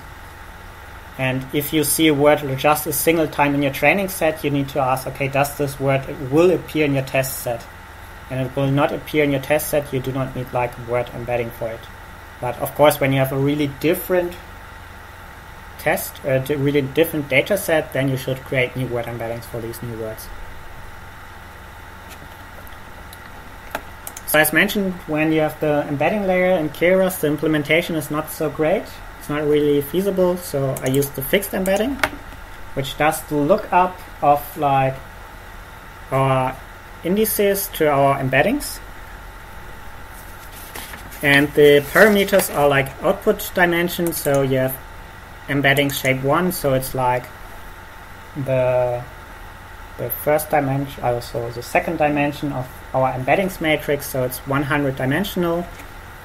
Input dimension is the number of words you have we have in our vocabulary. So I can just print it here, maybe. So we have 100 dimensional vectors and we have 76,000 words. And that's the size of our matrix. The input length is the number of uh, integers we're going to present. So in our in this case, is it like three integers, and the weights uh, is our embedding matrix. That's how we get our lookup. Then the next layer is called flatten. So this does a lookup for all our inputs, so for all the three words we put into our embeddings layer. And with flatten, we concatenate them to one single uh, 300 dimensional vector. And then we have output.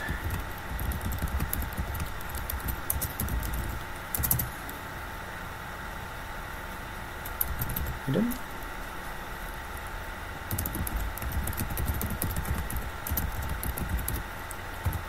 So we, we take our, the next one is a dense layer, so a hidden layer with the output dimension is like the number of hidden layers. Activation function is we take the tangents. And then we have our last layer, it's model at dense output.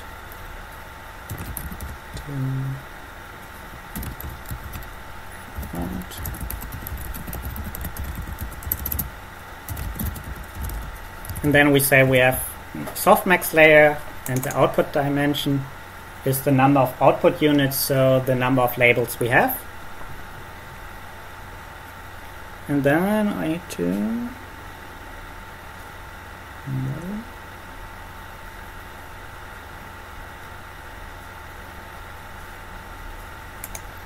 Okay. That's all we need. Then we need to compile our model, compile our Theano function. So we define a loss function. It's a categorical cross entropy.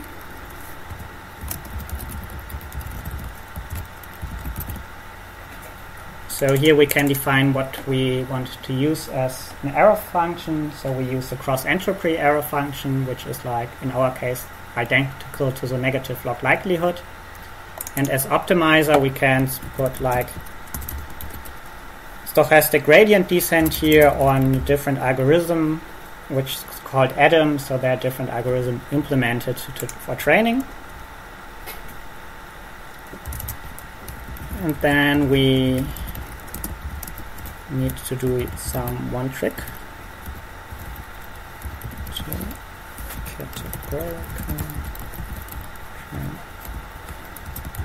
Uh, So this is special about Keras. So it's as a, in, our vector we have like the label we want to have. So it's like label five, label six, label seven. But it requires that you have like a one-hot encoding. So that you when we when you have ten different labels that you don't have a y vector but a matrix for y, and that the label which is correct there's a one, and for all other there's a zero. And with this, you can convert like a vector to this matrix. There's a typo, Where? Um.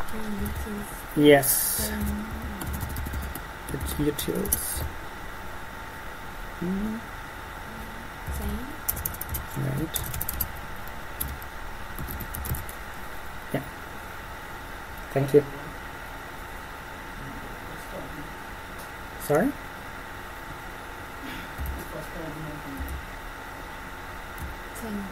Ah, train. Train one. Correct. And I think that's all we need to do. Let's see. I'm just gonna run it and probably there's some some problems. So here we see okay reads in the vocabulary, reads in data and creates the matrices.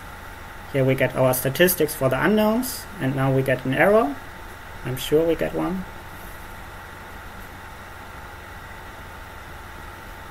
Okay, now it compiles the function. It takes some time. It starts to train.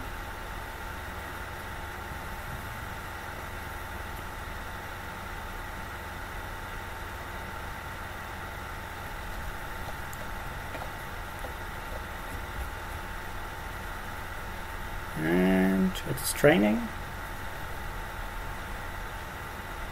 And then we see, okay, it took 21 seconds for training and it has a performance of 65 F measure after the first training.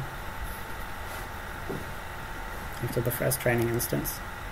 And then you will see it will get better over time. So you have 67, 69. And that's pretty much, so this is like all you needed to implement to have like this network which does isolated tag criterion. So we have our embedding layer, then we have our concatenation layer, we have the dense layer for our hin layer, and we have the dense output layer with the softmax function. And here we say as optimizer we use the Adam, which is like it was published 2015 this year. It claims to be really good and you do not need to optimize the parameter. What you can also do is like do stochastic gradient descent. So if you want to do stochastic gradient descent, you can set the learning rate. Let's say we have a learning rate of 0.1. You can set a decay of 1 minus 6. So decay is over time you reduce the learning rate so that you find really the bottom point of your, your valley. Then you can define your momentum. So should it flip or should the ball spring out of a local valley? And then there's a parameter Nesterov which uses Nesterov as momentum. So it's special way how you have your momentum. And then we can say as optimizer we do not want to use Adam, but we want to use SGD. So here we see we get an F measure of around 70%. And if we want run it with SGD, we just start it. Here we say, okay, this is our optimizer, the stochastic gradient descent. with these parameters you can check, okay, how should I set my momentum? Should I enable it, disable it? Should I start with a large training rate, learning rate with a slow learn, uh, small learning rate? And then you see the output of it. And that's all it needs to implement like this layer or this, this for named entity recognition using word embeddings and a deep neural network. For like the easy model with isolated tag criterion, so no sequence information used.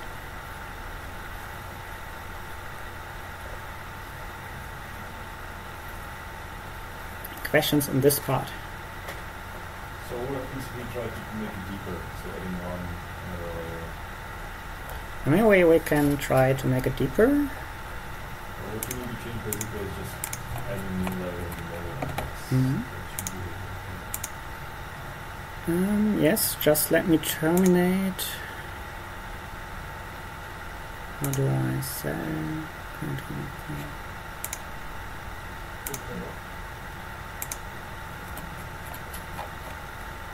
So if you want to add another layer, you just go here and say model add.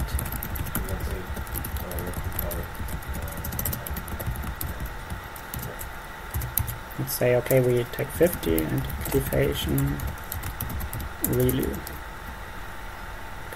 And then we can just run it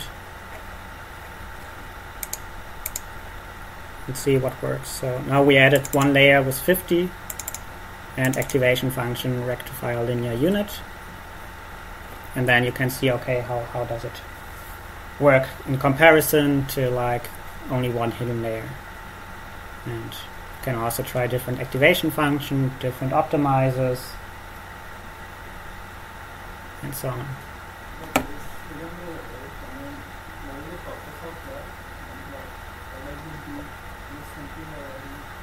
This hidden layer? Deeper things. I was just curious how to do it, you know, it's I mean, I would say this hidden layer does not really improve it. I don't know.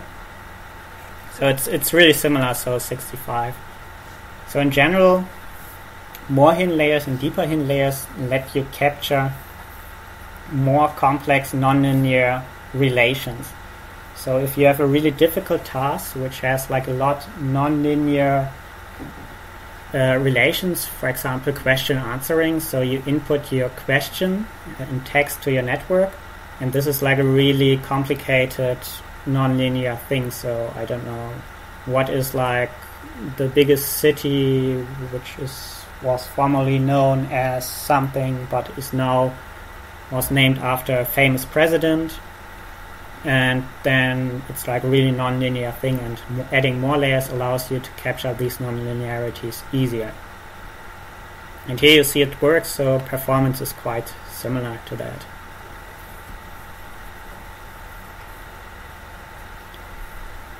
Question on that?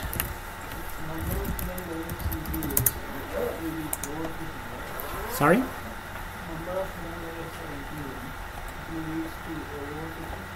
No, it's yeah, it's decreasing to avoid overfitting typically. So here we have 100, here we have 50, and here we have, I think for the task 28. And there are different, there's a lot, and the documentation is quite nice for Keras, so there are like different optimizers, stochastic gradient descent, Adagrad, ADA delta, RMSprop, and Adam. There are like different objective functions, so you can have mean squared error, mean absolute error, mean absolute percentage error, squared hinge, hinge, and typically for single classification we use, or in most cases we use cross entropy as it's like the best error function. But sometimes you can also use like mean squared error. Then there are different models, so sequential model where you go one layer to the next layer, or you can also get like a really abstract graph model where you have like different intermediate connections in the graph can have several outputs in it. So if you want to, I don't know, have an output in between in a deeper network, you can use it with the graph model. different activation functions. So always use what we use is softmax, tangents, relu. Different initialization, regularizers, and what's like interesting are like the layers we have. So we have different core layers, dense layer, it's like fully connected. Autoencoder, we will talk about that next week. We have layers which only apply an activation function. We have dropout.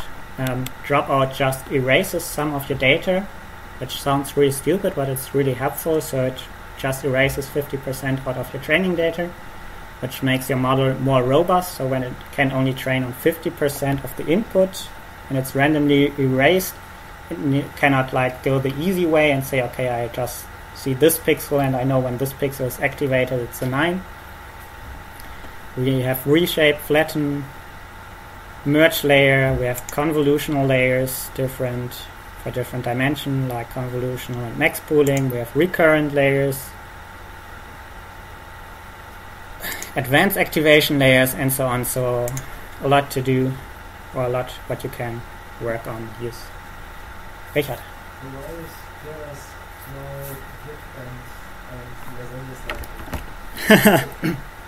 why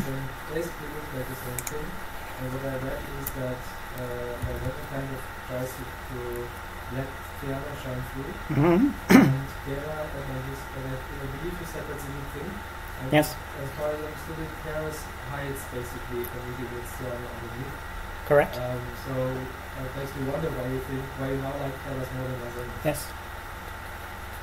Oh, his his That- message. Huh? His speech. That's just the reason. So I don't know. Lasagne was kind of slow, Okay. and I'm not happy with like slow solutions because, I mean, 60 seconds you say it's okay, but then it quickly increases, and when you take for one iteration five minutes, and for the whole training time like four hours, you get really pissed off and say, okay, uh, this is too slow. To like fast prototype, you saw okay, you need to do a lot of like small experiments. Should I select 100, 200 hidden layers? Should I use stochastic gradient descent or Adam? And so quick iteration time is important. That's the one thing. Second thing, what I see, I think Keras is in the recent, so in the last months or in the recent past, more active than Lasagne. So there are more commits on it. And it's, I think what I see from the documentation also more extensive. So it has more features implemented, like layers implemented. But it's a disadvantage from my point that you, or it's harder when you need to change something, when you need to change, for example, which parameter should be updated, it's harder in Keras than in Lasagne. So, for example, I wanted to avoid that my embedding layer is updated. So I need needed to create a new class to implement the fixed embedding. And in Lasagne, I can just say, okay, do not update this parameter, and then it's done.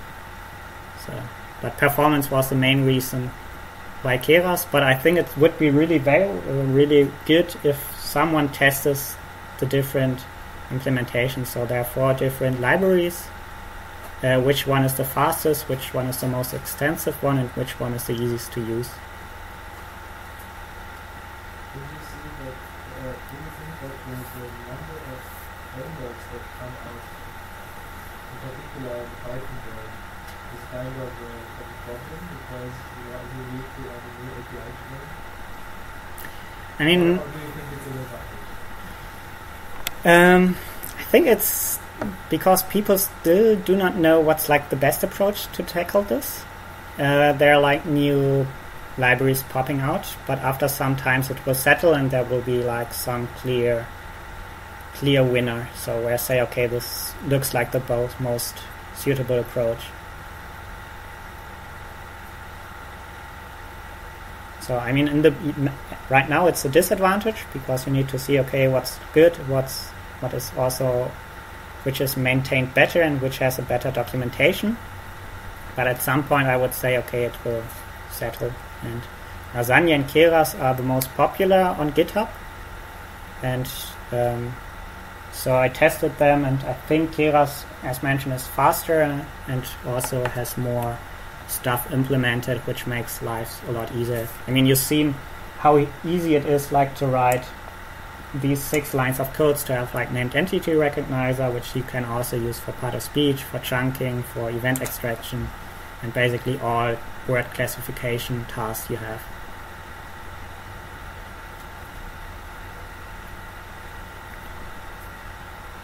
Okay, further questions?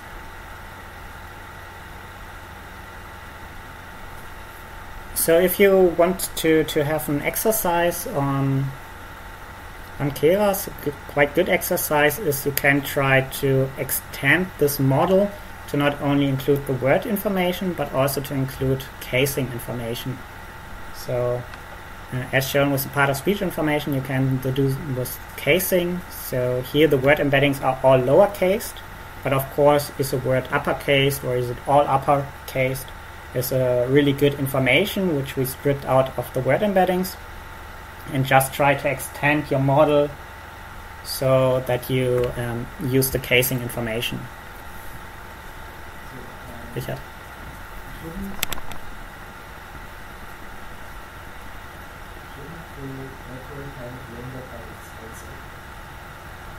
That casing a good feature? I mean, what we did, or the embeddings were only trained on lowercase words. So here you only input, or you say all your input is like lowercase. And-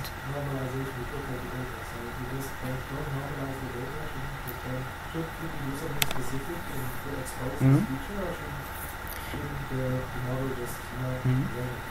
So what you can do is like train your word embeddings without lowercasing, which has advantages and disadvantages. Advantage is it can capture different meaning between lowercase and uppercase words. So for example, German word rasen, when it's uppercase means driving fast, when it's uh, not when it's uppercase means like the green outside grass, when it's lowercase means driving fast. And by normalizing them to all lowercase, you have like the same meaning for it. But when you don't lowercase, when you keep the casing in your word embeddings, you also increase the number of words in your vocabulary and you increase the number of training data or where you need to train the word embeddings. So it's it's really a trade off and it's a long discussion should you lowercase or should you not lowercase it.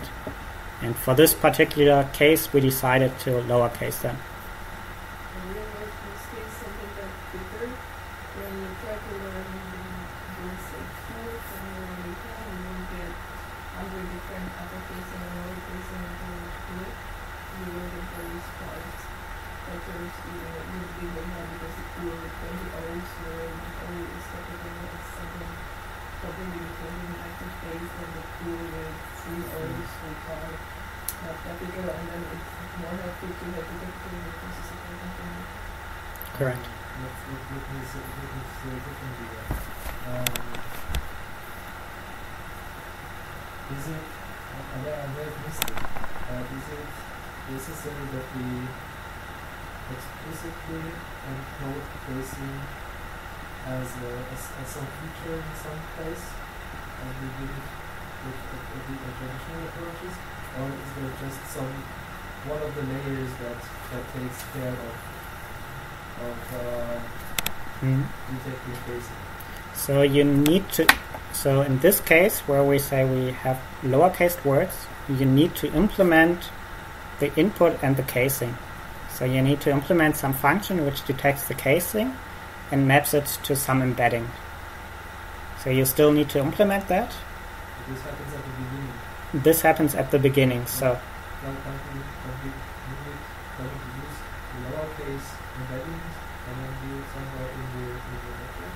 I mean, you it's somewhere you need. I mean, the network needs the information. Casing maybe a better example, like part of speech tagging, Mhm. is, is something that is not in the original data, it's kind of generated in between. Yeah. So of of course the point being like use an external and tag part of speech and then use it with my. Mhm. But I thought that somehow one of the advantages of deep learning was that we could model that implicitly, that you know Mhm. something like the a- a- this linearity of of, speech exists somewhere. And, Yeah, yeah. and we want to have a layer which have or a couple of layers which should be able to somehow implicitly uh, recognize parts of speech, but we never actually have that. So part of speech, um, the foundation is our word embeddings, and like words with a similar part of speech are closed in vector space. So all nouns are in one corner, all verbs are in a different location of the vector space. And the network does not sit there and say, hey, part of speech is a great information. I tried to learn part of speech. But it just looks at your vector space and what you're asking for, what to do, and then it can learn something similar. So it learns that words are in a similar space are all per, uh, person names.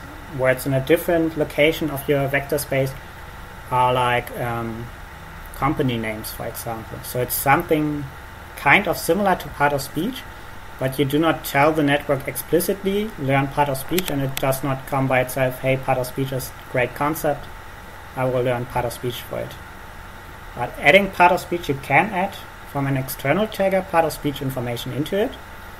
But if you have good data, good word embeddings, you do not need it. So you do not get any benefit from it because it already the, all the information you need from the part of speech is already in the word embeddings. Do they also use intermediate byte functions, like say, like the network and say, okay, at this point, I I would like to optimize for for some gold labels that I have, and those are part of speech, but this is actually not my output. Uh, different. You can do that. It's called pre-training, and we will cover it next week. But you typically do not do it on like part of speech, but on some other target function. Last question, big data. Uh, so how, how well will it scale to, to thousands, tons of gigabytes or terabytes of data? I mean, this particular implementation, have you tried it or? This one? Say, say I have like uh, a Hmm. terabyte of data, Oh, okay, half a terabyte. yeah. Might might take some while. So in general, these operations are quite suitable also for larger data sets. Um, not in terms. I mean, so what Google uses it, it trains it on like millions of images. and also Baidu, for example, trains it on I think 100,000 hours of speech. So when they do speech to text, they train it on 100,000 hours of speech. And This is with this framework and or no, with I don't know. So they use either Caffe Torch or some C implementation, but it's from performance-wise similar to Theano. Mhm. I do not know what's like the difference between Theano and Keras. How how big is the difference of it? So I have not enough insight. it. It, it has. I mean, it Sure. scales linear. So, with there such- support for distributed calculation in these things? Because I think that one of the one of the benefits that these uniform JClouds cloud have implementation is that they can run it Mhm. actually distributed via Spark on a cluster. Mhm. So there's no support for distributed computation, and when deep learning for J tells us it's like a nice marketing gag, because training it on a distributed way is like really difficult because you have one model, and all the param- parameters in your model are influencing the output, and you cannot when you split the data into like two parts and run it on two different machines the two models on the two machines diverge. So the one model learns something in this direction, the other model learns it in a different direction. And what you do is a lot of synchronization steps. So you train it on the first half of the data, train it on the second half of the data. They train it for one iteration and then they need to do some synchronization.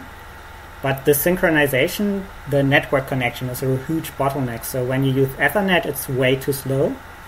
Also, when you use high band with connection between computers also way too slow. And what you need, to do if you run it on distributed machines, you need to do a lot of engineering to get the synchronization. So you need to have a trade-off between divergence, so how much can I allow my model to diverge, and how big is the latency due to the synchronization step. So there is no easy, I have 10,000 machines, I take my model, throw it to 10,000 machines, run it, but you spend months or weeks on how to do the synchronization, what is my infrastructure for it, how good is the connection between the machines. So you say it's marketing work, you say they are telling us that, but they actually don't take care of that synchronization because I would expect that that's one of the major features that they take care of. I'm say something. There's a native implementation in Spark, which I think they have basically copied to the developer J and what uh, what that implementation. And I assume in Spark they have put quite a lot of effort into the engineering part. And I've never tried it with terabytes of data, but I think it should be good. I mean, it's it's really difficult task. So also the people at Google do not say, okay, yeah, we, we so they have some experiments run on sixteen thousand cores, and it's nothing like it's nothing straightforward. So it's a lot of implementation where you also need to take into account how is your model and how is your data, and so there cannot be a generic implementation. That's the one point. Second point, people do not go into the distributed but go to like GPU computation. So a GPU is 140 times faster than a CPU. And what people do is like then distributed computation on GPUs. So what they use is like two GPUs per machine, and then distributed over like two to four machines, which just makes it You have to synchronize between GPUs and the machine. Yeah. It doesn't, doesn't take the synchronization away. correct. But between two GPUs in the same machine, it's much faster synchronization as between machines. And when you go to more machines, so like to two machines with each two GPUs, you still need the synchronization, but which is like quite difficult to do. So, but there's no easy way to just say, okay, I have a big cluster and run it on a big cluster, and it gets much faster out of it between of uh, because of the synchronization step. Okay, then thank you very much, and have a nice week.